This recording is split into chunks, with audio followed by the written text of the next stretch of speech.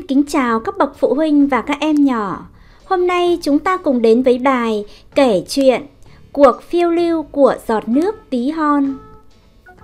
Quan sát 6 bức tranh và cho cô biết chuyện gồm có những nhân vật nào.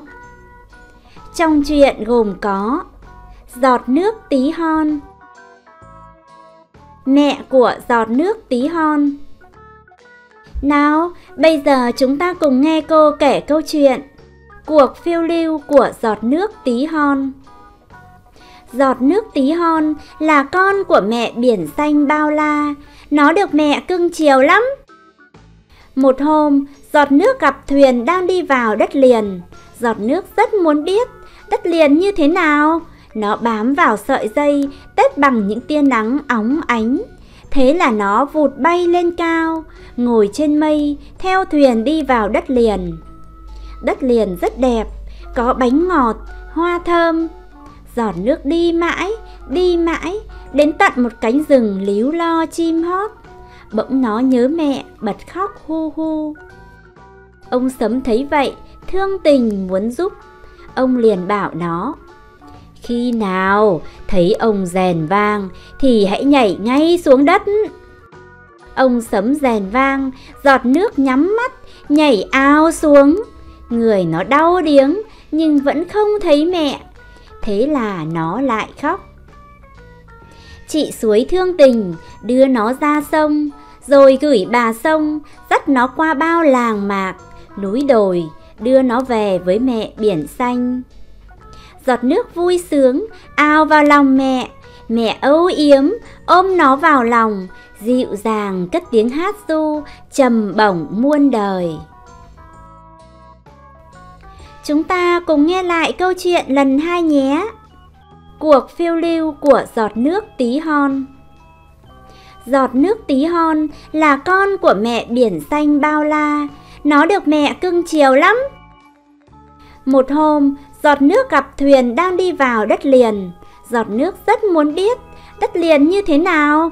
Nó bám vào sợi dây, tết bằng những tia nắng óng ánh. Thế là nó vụt bay lên cao, ngồi trên mây, theo thuyền đi vào đất liền. Đất liền rất đẹp, có bánh ngọt, hoa thơm. Giọt nước đi mãi, đi mãi, đến tận một cánh rừng líu lo chim hót. Bỗng nó nhớ mẹ, bật khóc hu hu. Ông sấm thấy vậy, thương tình muốn giúp. Ông liền bảo nó, khi nào thấy ông rèn vang thì hãy nhảy ngay xuống đất. Ông sấm rèn vang, giọt nước nhắm mắt, nhảy ao xuống. Người nó đau điếng nhưng vẫn không thấy mẹ. Thế là nó lại khóc. Chị suối thương tình đưa nó ra sông, rồi gửi bà sông dắt nó qua bao làng mạc, núi đồi, đưa nó về với mẹ biển xanh. Giọt nước vui sướng ao vào lòng mẹ, mẹ âu yếm ôm nó vào lòng, dịu dàng cất tiếng hát du trầm bổng muôn đời. Các em đã nhớ hết nội dung câu chuyện chưa? Nếu chưa nhớ được các em hãy bấm quay lại để nghe lại nội dung câu chuyện nhé. Nếu đã nhớ hết rồi chúng ta cùng trả lời các câu hỏi trong mỗi bức tranh quan sát bức tranh 1 và cho cô biết giọt nước tí hon là con của ai À, giọt nước tí hon là con của mẹ biển xanh bao la. Quan sát bức tranh 2 và cho cô biết vì sao giọt nước theo thuyền đi vào đất liền. Giọt nước theo thuyền đi vào đất liền vì giọt nước rất muốn biết đất liền như thế nào. Nó làm thế nào để đi theo thuyền?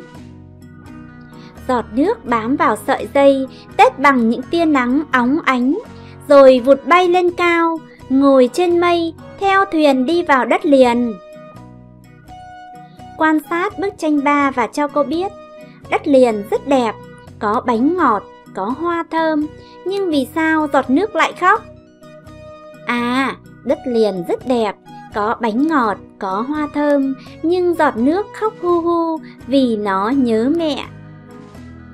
Quan sát bức tranh 4 và cho cô biết, ông Sấm muốn giúp giọt nước, bảo nó làm gì? ông sấm bảo nó, khi nào thấy ông rèn vang thì hãy nhảy ngay xuống đất. Vì sao khi đã xuống đất, giọt nước vẫn khóc? Khi đã xuống đất, giọt nước vẫn khóc vì nó vẫn không thấy mẹ đâu.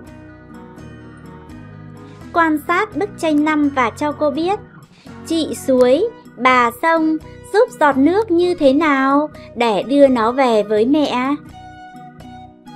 À, chị suối thương tình đưa nó ra sông, rồi gửi bà sông dắt nó qua bao làng mạc, núi đồi đưa nó về với mẹ biển xanh. Quan sát bức tranh 6 và cho cô biết hai mẹ con giọt nước gặp nhau như thế nào. Đúng rồi đấy, giọt nước vui sướng, ao vào lòng mẹ. Mẹ âu yếm, ôm nó vào lòng, dịu dàng cất tiếng hát du, trầm bổng muôn đời. Qua câu chuyện ta thấy, giọt nước tí hon đã thực hiện một chuyến phiêu lưu đi thăm đất liền đẹp đẽ, nhưng vừa đi, nó đã nhớ mẹ biển và tìm mọi cách để sớm trở về với mẹ. Câu chuyện nói về tình cảm của giọt nước, của những đứa con với mẹ, với gia đình.